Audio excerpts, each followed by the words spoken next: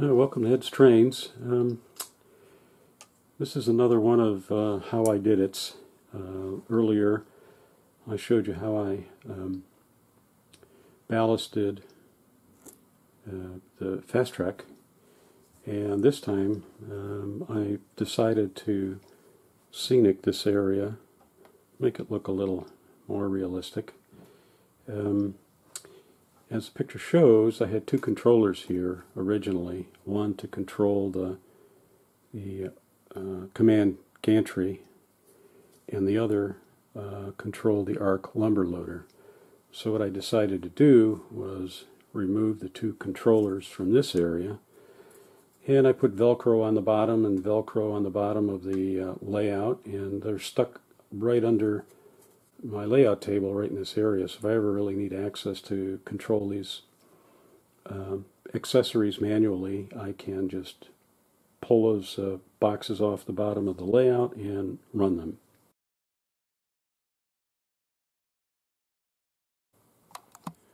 So the first decision I had to make was what am I going to do with the fact that um, the platforms are higher and, and the track and all. So what I decided to do was take foam board like this and cut it so that it fits like that.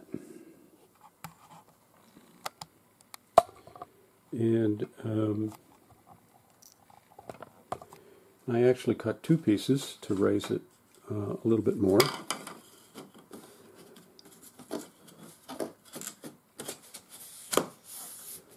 And also, um, uh, back here, this is uh, just laid down for uh, planning purposes, but I'll have a road here and leading into the industrial area. And then uh, from this platform, loading dock uh, and barrel loader, I'm going to have the road cross the track and then continue uh, over to the right. And so I did the same with foam board extend the platform, extend the road, extend the uh, the area, and then took another piece of uh, this is foamy. It's uh, about sixteenth or or so of an inch thick. It's really easy to use, and uh, instead of using more foam, foam board, it's really easy to cut. You just use scissors and you can cut it. So that's what I did so far, and then I decided I was going to add um, light to the scene and I'm going to lay in a light either right on the platform like I have here or maybe in this area I haven't quite decided yet. So um, you know that's kind of the first stages of this project and uh, when I move into the next stage I will re-engage. See you later. So now I'm going to add the uh, uh, the foam boards that I indicated. I'm using foam tack glue and I kind of spread it on there. Now I'm going to flatten it out.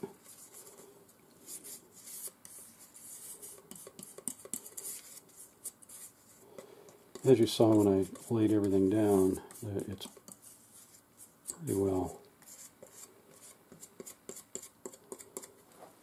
Look at that. And I'm going to spread it around here a bit. And that should, I wait until it's clear, it uh, dries clear and then it's tacky. It's good to, you to work with it for about an hour. And then here's the side that I'll put on top.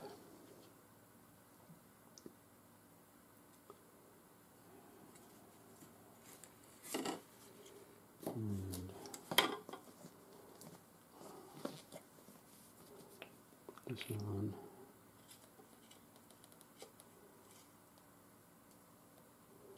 I don't think I need very much. It's not going to be a lot of activity on the static site, so.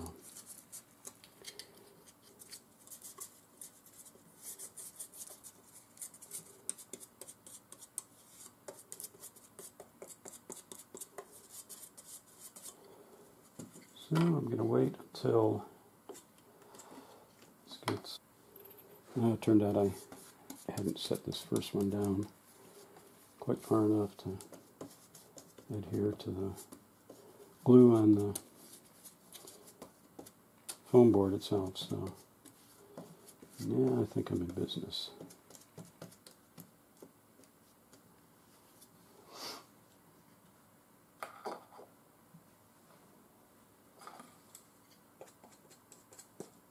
So,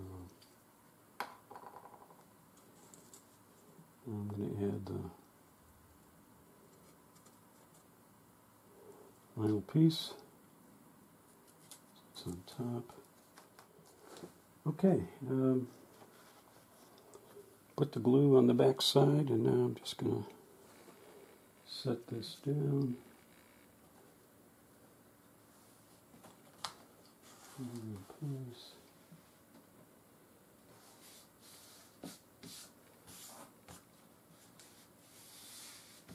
I'll tell the other nice thing about this foamy material. One, it's real easy to work with. And two, when you paint it, like I have on my roads, it, it doesn't warp, it doesn't bend, it doesn't, it, it just takes the paint and does wonderful things. So, and I have to figure out what I'm going to do. Probably a pickup truck with uh, milk cans in it because this is retail bottles, but looks kind of good. Thanks.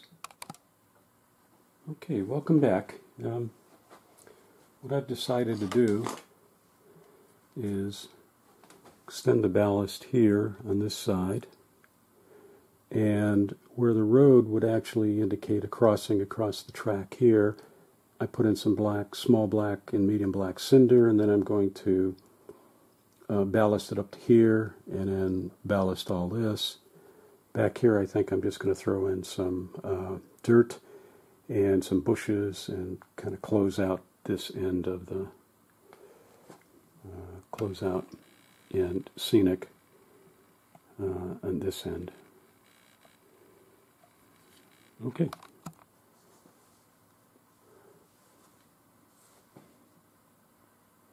Okay, um, unlike my ballasting in my earlier uh, video, uh, I'm really, I really didn't uh, use the brush and lay the ballast in on the side of the track.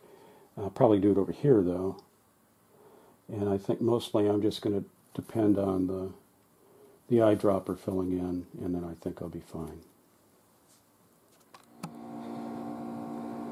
Well, welcome back. Uh, I've finished laying in the ballast, uh, some of the cinder that would indicate where the road's going across the track, and I also put some bushes at the end, and then finally finished uh, the grass between the two loops and the scenicking. So that's phase one. I still have to uh, wire up this flood lamp and then continue the road across and figure out what I'm going to do for the industrial area back here. But it's a start. Thanks for watching. Okay, well, upon reflection, I looked at this uh, I realized the mistake I made is that the roadbed is level with the top of the ties, but it doesn't really cross the ties properly. So what I've decided to do is extend the, the uh, roadway and I will um, add some, you know, probably some putty or something here uh, and I'm going to remove this because it causes the the roadway to kind of bend and all. So that's going to be my next step. I'm going to soften this up with some water, loosen up the glue, scrape it off so it's level, and then I'm going to lay this down, use some hydrocal or plaster and kind of smooth it all out. And then I'm going to paint uh, the roadbed so that you won't really be able to tell that um, there's an, uh, an addition here. So that's my next task. So let me first of all uh, dampen this with a little bit of water. I'm going to hit it with uh, some alcohol. And when that's all nice and moist, I'm going to uh, uh, use a putty knife, scrape it up, get it out of the way, and then I'll lay down the road bed. So, uh, I think it's getting kind of moistening up. Let's see.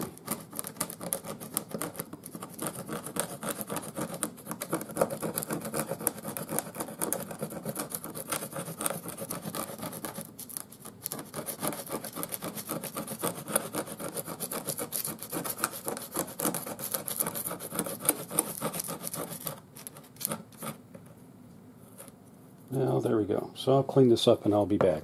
Thanks. I decided to try the Smooth It I bought for roads that I'm really not going to use for roads, but I thought it might work well in this situation. So let's see. Well, I have the Smooth It on. It seems to have done a fairly good job. I'll just hit it lightly once it dries, a little bit of sandpaper, and then once I put the asphalt paint on, I think everything's going to look really cool. Uh, I'll have to clean up that bush though. Thanks. Alexa, turn on trains. Alexa, turn on Legacy.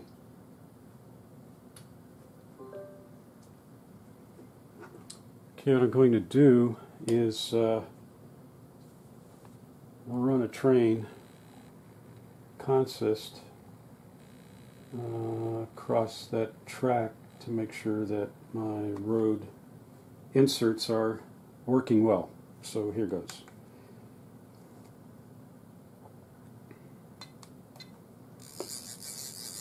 I run all my power, accessories, everything through uh, my legacy control. Dispatcher here. Do you copy? Over. Roger that. Please start up and stand by. Okay, we'll get up and running. Out.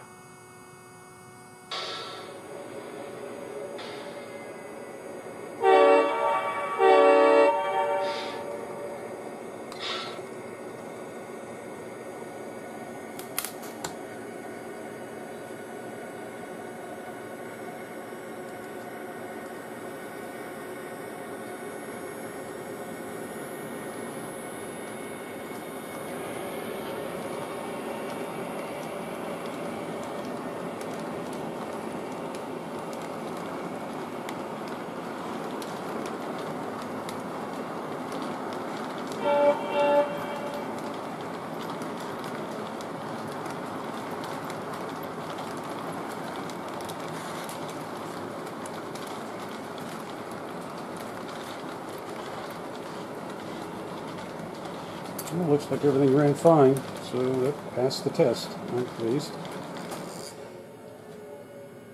So now I'll just wait for that um, smooth it to dry. I'll move on to the next step. Thanks. Well, uh, the smooth it dried and used uh, 2220 uh, grit sandpaper to smooth it off a little bit. Now I'm going to use the Woodland uh, Scenics asphalt to paint the entire uh, road area and uh, move on from there. So we'll let me get started.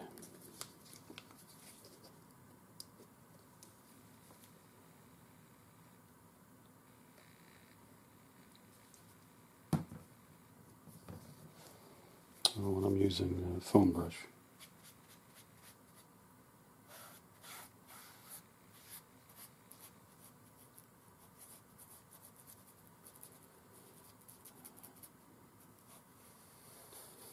I should have, you know, second thoughts. I should have um, painted this before I laid it down, and certainly before I um, put down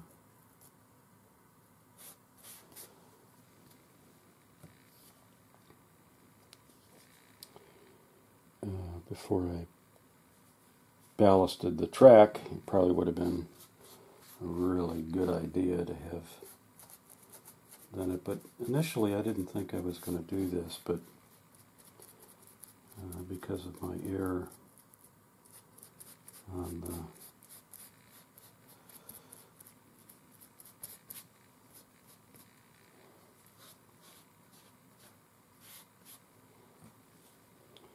the on the roadbed itself, uh, requiring this little rise. Um, I kind of did it to myself, so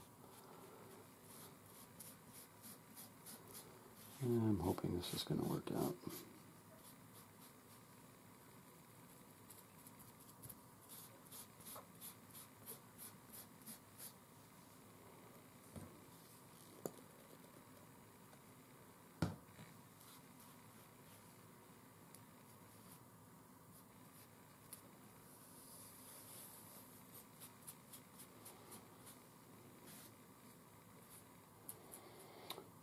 See how, uh, how good it actually looks on this uh, foamy board once the asphalt paint dries. It's really good. I'll come back and hit that again.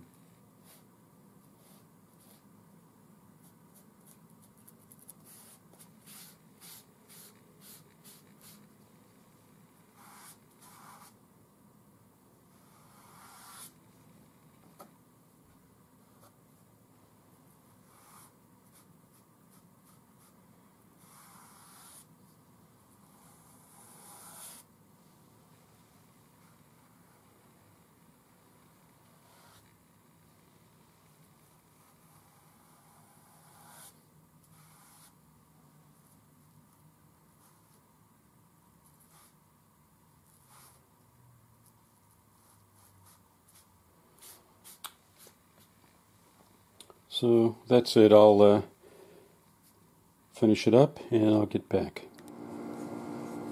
Okay, as you can see, first coat's been down and it looks pretty good. So I'm going to put one more coat on and then call it a day.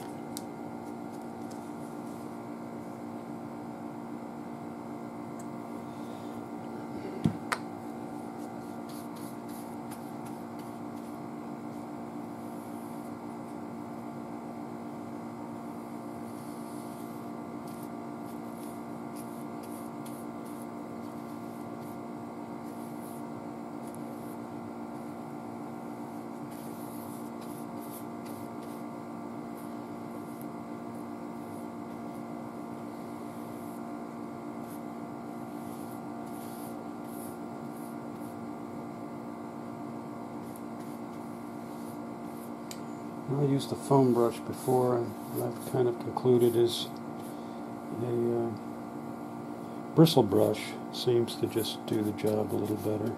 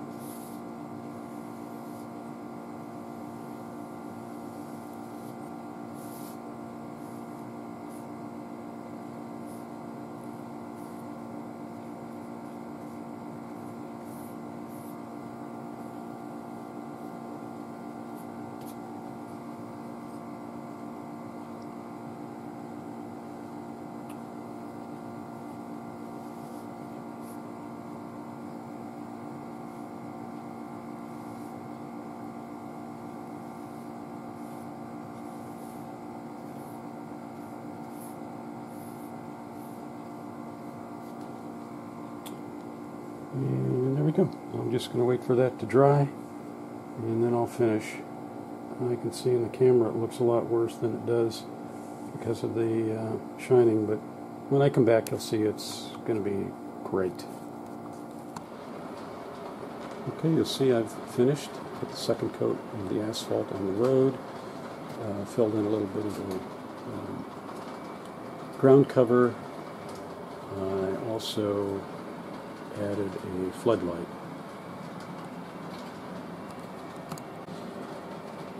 Uh, next I'm going to take those milk cans, load them into the uh, reefer, and uh, show you how it operates. Okay, well, I've finished up the road and I filled in a little bit of the ground cover at the end of that road. Um, and I've added, uh, as I thought, a floodlight to cover the platform. So now it's time to see it in action.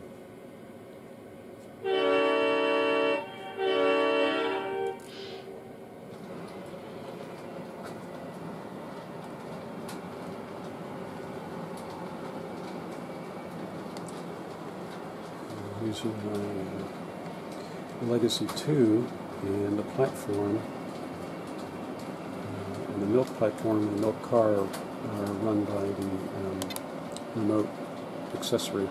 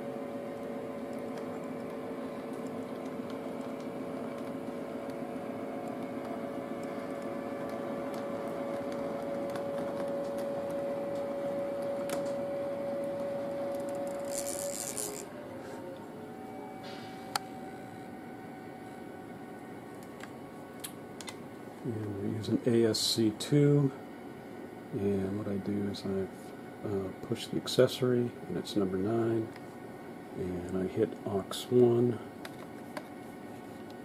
and you will see what happens.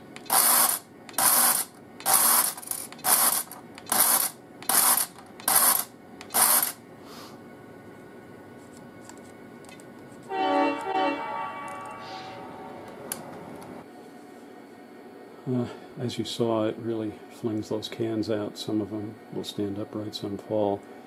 Uh, the reason for that is I have the operating track running off of um, track power, so it's running at a full 18 volts. Uh, I could probably set it up differently, but I elected to just uh, leave it as it is, and uh, and it works, and I'm I'm happy. Uh, thanks for watching. What I'd like to show you next is uh, that's a Joe lumber unloading car. I'm going to use the same operating track that I used to unload the milk cans and have uh, and Joe dump the lumber on the opposite side. I'm going to build a platform there to receive uh, the lumber. So I can use that operating track uh, in both directions. So here we go. I'm going to do the same thing. I'm going to uh, uh, press accessory in 9 and then I'll hit AUX1 and it'll unload.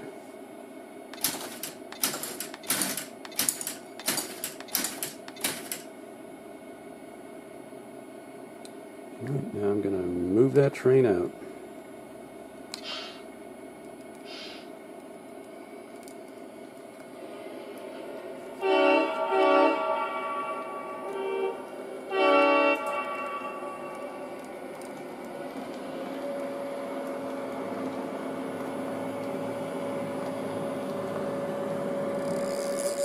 Okay, thanks.